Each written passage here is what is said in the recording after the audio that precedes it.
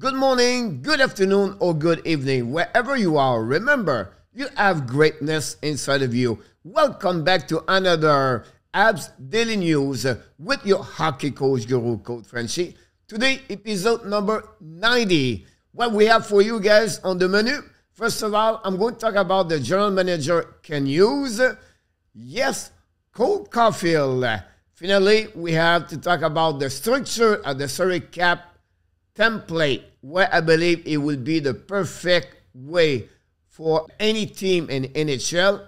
And we have to give you some update about the Hlinka Gretzky Cup for the final tonight. And of course, uh, at the end of the video, I'm going to talk about the NHL news around the league. So don't go nowhere.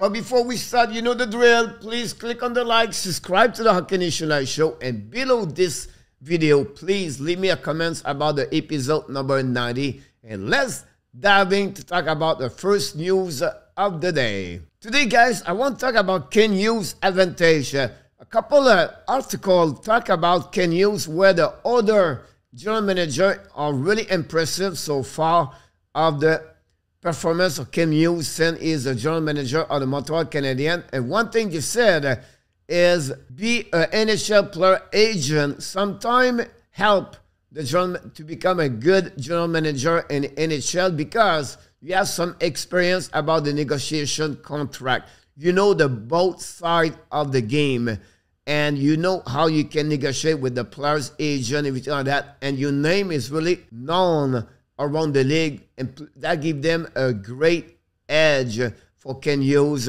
One thing I like from Kent Hughes since he's the general manager is he stick on the plan. We talk about it's not a matter who you are, media, fans, what he, he hear, it does not change. He's not get influenced by anybody. He's stuck at the plan. He know exactly what the Montreal need to do to become a better franchise in NHL. It's all about first the bill, honestly, the completely the staff management, new assistant general, new assistant general manager. They add director scouting. They add more scout. They add video analytic people. They add assistant coaches, development players. You can see they hire a lot more people. Why? Because they really want to they want to focus on the development of each player inside of this organization. So they give tools for the Montreal Canadian players. So for me, really impressed so far from the general manager Kent Hughes. Let's move on, guys, for the next news of the day. The next news, guys, is about Cole Caufield extension. It looked like they have some rumor around the league where the Caufield extension could happen very soon. And you know, he's going to be 22 years old in 2023. He's on the final entry level contract for the upcoming year. He has 23 goals with 43 points point and 67 game for his full year in NHL with the Montreal Canadiens. What we talk about, coach? Listen, it's not going to be UFA for the next four or five years. I don't see a bridge contract. Can he become the same way like Suzuki? I'm not sure. The deal for me is going to, could be around five years contract. Four to five years. Can he extend to six? Yes. I don't see him to get an eight years contract. The best scenario for Montreal and for him, he get about six to six point five million dollars. All depends the longevity of the contract because if he get shorter, he's gonna higher money. If he get a little bit longer, now the salary drop. So the best scenario for me, five years, 6.5. I think that would be fair for both parties. We'll see what happening about Cole Caufield extension. Let's dive in now for the next news of the day. So the next news, guys, is about the Montreal Canadian fire Marc Dumont. Mark worked with the Montreal Canadian for a couple of years now. He was the guys doing all the kind of interview for the Montreal during the different events. He was, of course, on the Discord for interviewing different players and the Montreal Canadiens. And of course, he worked with the Laval Rockets. So I don't know exactly what happening. He did not mention exactly on the Twitter account. The only rumor we heard, he looked like he said something where the Montreal Canadiens did not like it. And that's one reason why he got fired. I always said, always be careful on the social media when you talk or you leave a comment because when you leave a comment is going to be there forever. It's a this is a bad news for Marc Dumont. We wish the best for sure for him. Let's move on for the next news of the day. We don't have a lot of news uh, for the Montreal Canadiens today, so I want to talk a little bit a template of the structure of salary cap if you are a general manager. For me, if you want to reach the $82.5 million to be under the perfect template is this way. $21 million for the first line, $15 million for the second line, $10 million for the third line, $4 million for the fourth line. Then for the defenseman, it's going to be first pairing 13, the second pairing 8, the third pairing $3 million, and for the goaltender, $8 million. If you accumulate all those number, the total is at $82 million, where the, the rule is 82.5 in NHL.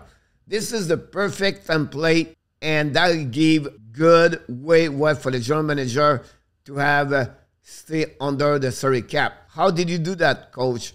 But at $21 million, first line, guys, is about if you put your first two best players on the first line, they have to go about $16 million together. The third player there, $5 million.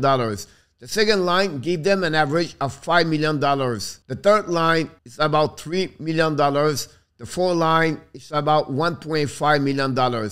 First pairing usually is 8 and 6 or 8 and 5, honestly. Second pairing, give them 4 million each. Third pairing, 1.5 goaltender, five to six million dollars for the number one, and one to two million dollars for the number two, and that's give you an idea of the salary cap structure template for any team in NHL.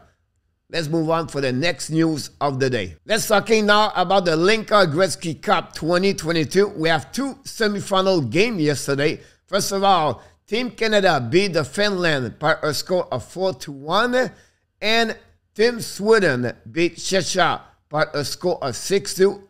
And this is going to be the final between Canada and Sweden tonight. So we're going to give you all the information about this game tomorrow for the next video of the Habs Daily News. Let's finish this episode with the last news of the day. Here we go. Let's talk about the NHL news uh, today. We have a couple of signatures around the league yesterday. Let's talking about the Nashville Predators signed Yakov Trenin, the 25 years old, for the contract of two years uh, at $1.7 million AAV with uh, $3.4 million total. Last season, he scored 17 goals with the Nashville Predator.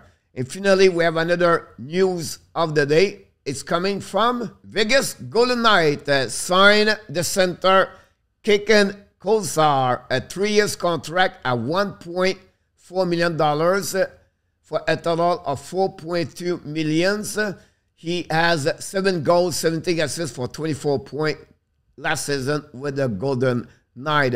This complete, guys, uh, all the news around the NHL news today. Here we go, guys. This is the end of the episode number 90 for the Habs Daily News with your hockey coach, Guru Coach Frenchy. But before we leave, we want to remind you, please don't forget to click on the like, subscribe to the channel, and leave me a comments below this video. And of course, you have greatness inside of you. Have an amazing, blessing day, everybody.